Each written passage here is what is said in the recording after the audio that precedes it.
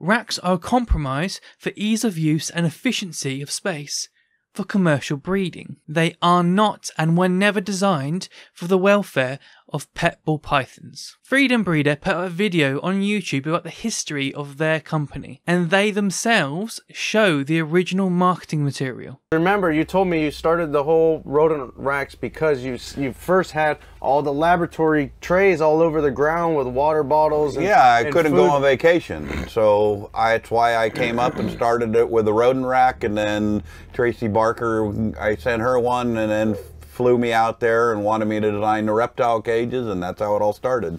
Look at all those racks in there. Where was this? Was that in our garage?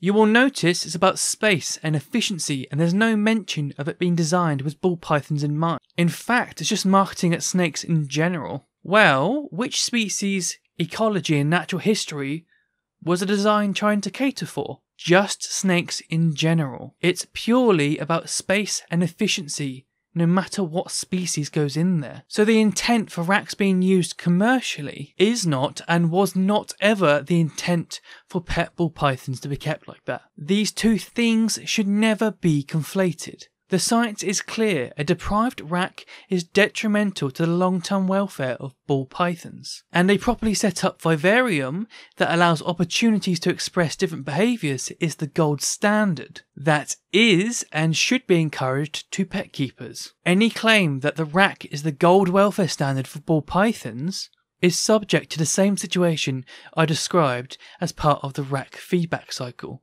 and thus comes from a place of misunderstanding or it's intentionally disingenuous. The overwhelming message is stop conflating what's best for the animal with what's best for commercial breeding. It's a compromise on welfare for space and efficiency.